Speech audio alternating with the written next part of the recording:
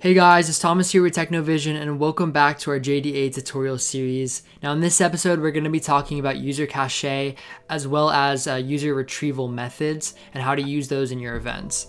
So if you remember in the last episode, if we come to our event listener here, we have this on user update online status event.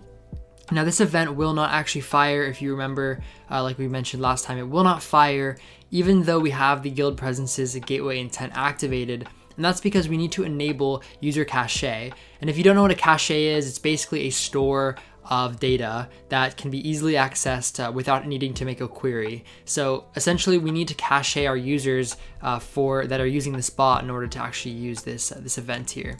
So to do that, what we can do is go over to our tutorial bot sort of main class here, and uh, we can just set this as a flag in our builder. So we can take our builder here, and right below intents or wherever really, we can do builder dots. And the first thing I should, I guess we can check out here is the uh, set member cache policy. So we can do dot set member cache policy here. And as you would expect, this will allow us to set a cache policy for members. So we can do member cache policy dots.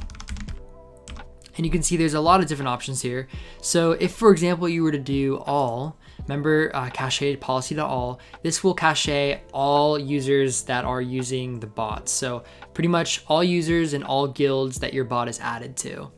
Uh, another option is uh, member cache policy.online. These are users that are just online, which you know makes sense for a lot of people. Why would you need to cache users that aren't using your bot currently?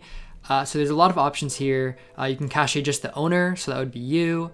Um, there's lots of different options here. So I'm gonna go with member cache policy.all just uh, for testing purposes, but I'll mention in a little bit why we don't always wanna do this. Um, so this is gonna cache all members um, but it's to do what's called lazy loading. So lazy loading is essentially going to slowly cache all of these users over time as they come online and use uh, features of Discord and, and, interact with your bot. So that means that we might not actually uh, uh, be caching all the users you know accurately like we may not have access to all of them all at once at any given time. So uh, what we can do to rectify that is we can actually set another flag here with builder dot set member uh, not set member cache policy we just did that uh, dot set chunking filter. And this allows you to set a chunking filter. And we can pass in here a chunking uh, filter dot chunking filter dot and there's really only two options here. There's none and all. So chunking is essentially, if you, if you have chunking.all here, this allows, uh, or it forces your bot to cache all users on startup. So when you run the bot, it's going to look at every single user that is in every single server um, that that bot is actually added to, and it's gonna cache them. So we can do that here. And this is gonna make sure that uh, basically on startup, yeah, with these two policies enabled, it's going to cache all members. Uh, but if you were to, for example, not have this, this member cache policy, you don't want to have chunking set to all because uh, this is probably going to mess up JDA. Uh, there's no reason to chunk unless you're caching the members. So yeah, but these are not the only settings we need to set because we also need to determine what we want to enable to save in the cache about the user as well. So to do that, we can do builder dots and we can do enable cache and we can set a cache flag here.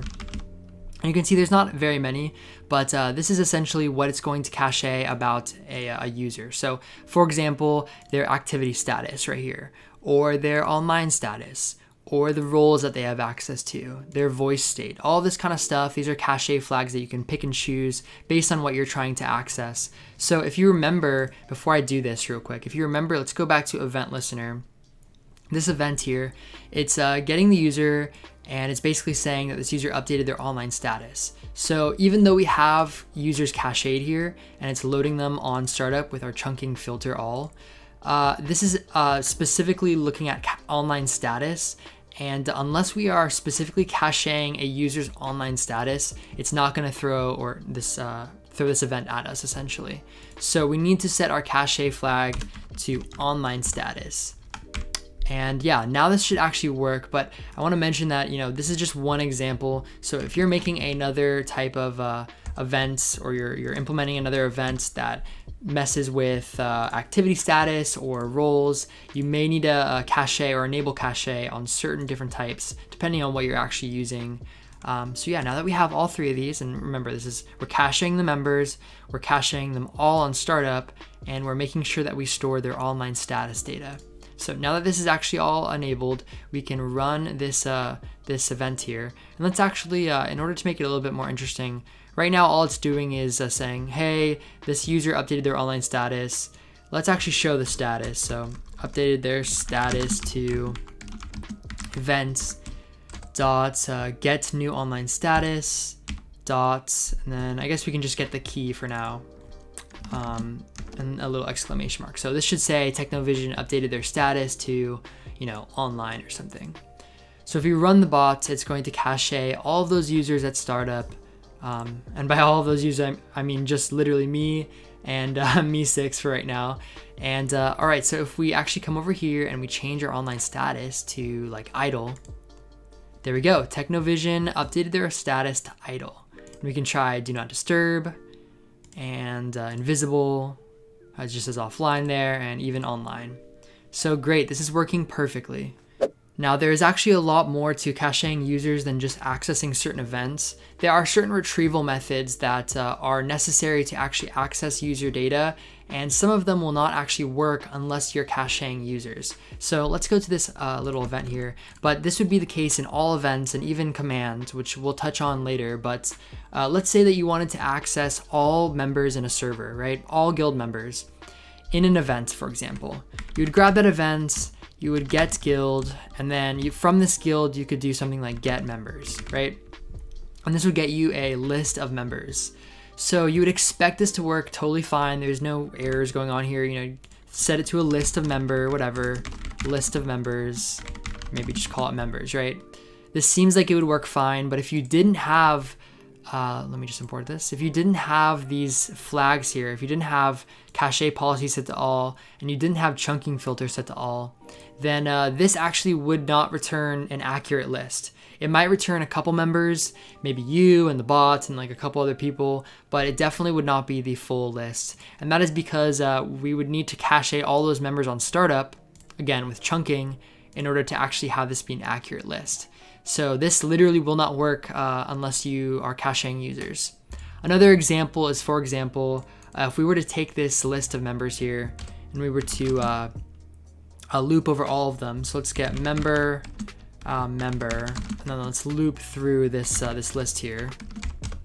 So let's say we wanted to uh, get the number of users that were online in a current server. So let's actually change this uh, this event here to not just show that a user updated their status, but to also show the current number of online users. So uh, let's say we could go through this list of members and let's set a, an integer here called uh, online members, set it equal to zero.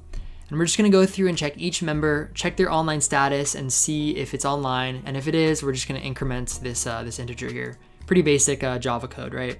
So if member dot, we can get their online status here. So if member get online status um, is equal to online status dot uh, online. So if the member is online, essentially, then we can just uh, increment online online member members is what I meant to name it. Online members plus plus, right? And so we could throw this in uh, in our our actual text here. We could say like uh, TechnoVision updated their status um, there are now uh, this variable number of online users online users online in this guild. Right so this is going to now say TechnoVision updated their status. There are now you know let's say three users online in this guild. Um, so this actually would work uh, only if this specific section here i mean would only work if we have this flag here, this cache flag.online status. So even though we're able to access with, uh, with these two flags here, the member cache policy and the chunking filter, even though we're able to access the uh, list of members with those two flags, we actually cannot see their online status uh, unless we also ask uh, JDA to cache that specific data. And you know, again, if we wanted to access um, from this list like member.get activity, for example, like to get their activities, again, we'd have to go back to our bot. We'd have to make sure that we enable cache here and add a new one uh, with a comma, a new cache flag dot activity. Same thing for emote or uh, roles, all that kind of stuff. You're gonna need to cache if you're going to access it from a, a list like that.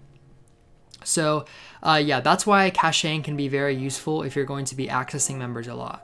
So let's actually see this in action by running the bots and going to Discord. And if we change our status to uh, do not disturb, there we go. There's only two users now online, just MEE6 and the bot. But if we go online, there are now three members online. So if you were doing this again in another event uh, and you didn't have that uh, that online status cache flag, then it would actually display inaccurate information. It would say that there are zero members online, even though that's not actually the case. Now there are other methods of accessing a user or a member without having to cache, and we're going to talk about that next, which is called retrieval methods. Now the reason you might want to do this instead is because if we go to our tutorial bot class here, when we actually cache all members on startup, it might seem fine for, you know, a new bot that's only in a couple servers and maybe has like a couple hundred members. But if you think about it in the long term, let's say your bot gets to a point where it's in thousands of servers and is serving potentially millions of users uh, on startup, that's going to be caching literally every single user um, that is in those servers. That's millions and millions of users. It's going to absolutely destroy your memory usage uh, for your little server, and you might have to upgrade your server hardware really quickly. So I honestly don't recommend uh, caching users at all unless you absolutely have to. So if you're going to be accessing all members in a server constantly over and over again, or you want to be retrieving lots of users all the time, then you might want to cache all and, uh, and add chunking. But if you're not gonna do that, if you can avoid it, I would recommend actually not doing this uh, because it will save you so much memory. And when I was developing TechnoBot, my own personal Discord bot, I had to make a decision to remove a couple features because it was just not worth it memory wise to actually cache all these users. But if you want to actually retrieve a user without caching, so let's say we, uh, we didn't actually have these here, uh, if you didn't, if you wanted to retrieve a user uh, in a different way, you could actually do. Uh, let's get the guild. So you would event dots. Well, not guild actually. You would do events dot get uh, JDA is the first way, and you would do dot retrieve user by ID. So uh, you can notice here that this is actually a REST action. So when we retrieve a user, we can throw in an ID for them.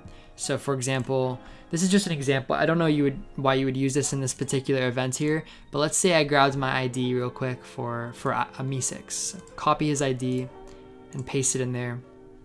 So for whatever reason we wanted to retrieve the, the user MEE6 from our server, or just as a user in general, uh, you would retrieve this user by ID, but then you also have to dot queue it because remember this is an action we're asking Discord to do for us.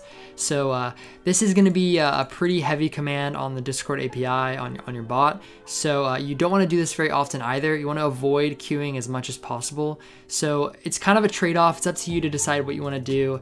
If you're going to be accessing these members a lot, then don't use uh, you know REST actions here. Just try to cache those members and, and then you can get them really easily with methods like this get members.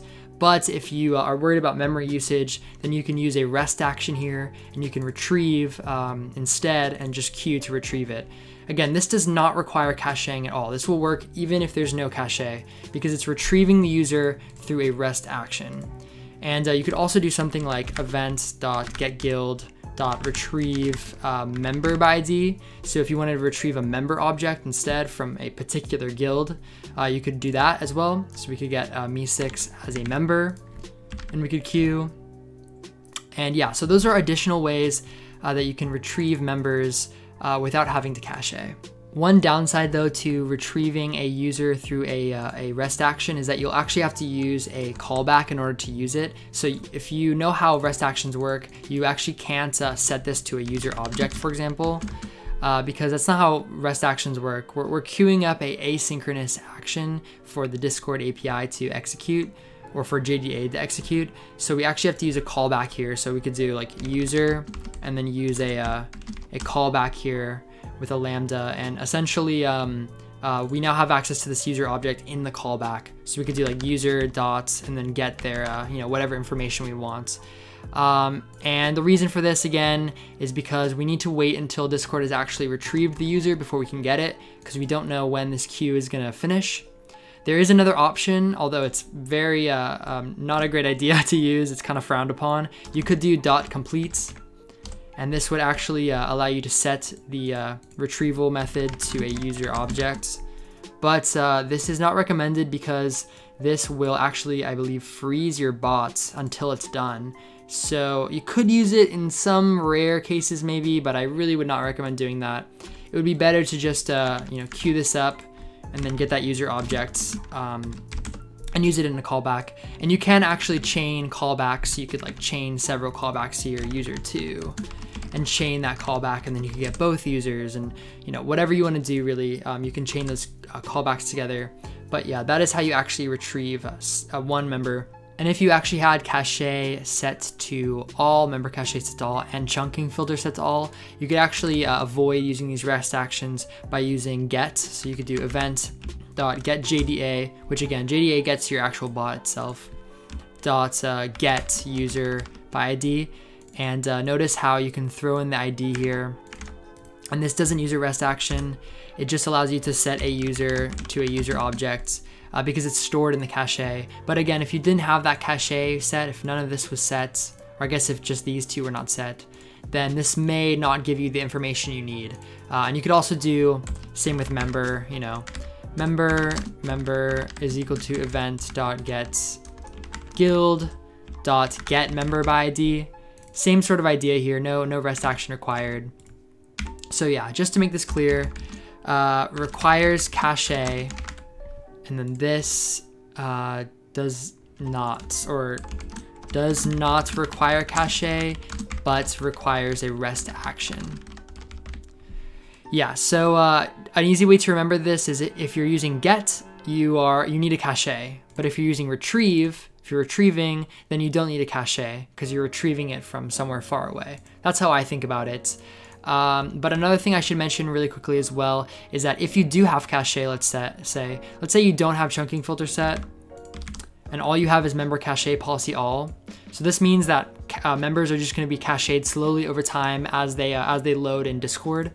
Uh, you could actually still use retrieval methods, but and use that dot .queue, but if the user is cached, it will skip the rest action and it will just grab it from the cache. So that can be a great alternative if you are worried about uh, using a lot of rest actions. All right, so that's gonna do it for this episode. Thank you guys so much for watching. Remember that I really don't recommend actually caching users at all until you really necessarily need it for a specific feature. So just keep that in mind. But yeah, in the next episode, we'll actually be talking about slash commands, which is really exciting. So I will see you soon.